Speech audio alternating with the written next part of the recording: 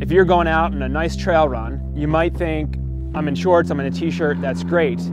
But if you're gonna be out there for a while, I'll often throw a little ultralight windbreaker. This is a Mountain Hardwear Ghost Whisperer jacket. Weighs an ounce and a half. If you're carrying even a little fanny pack or a really small uh, vest pack, toss it in there and you'll forget about it. If your run maybe goes longer than planned and it was a beautiful 70 degree day and it's dropping down to 40 or it gets a little windy out, pull this out and you will be warm. Always be prepared, look at the weather forecast, throw the rain jacket in your pack.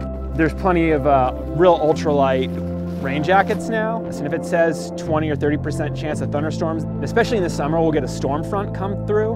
Um, or the, the clouds will build up during the day, convective showers will build up. The rain could be really heavy, it could be really cold, hail. You might be exposed. It's, there's not a forest. You might be up on a mesa and not have any shelter. Rain jackets in the desert, they're come in handy.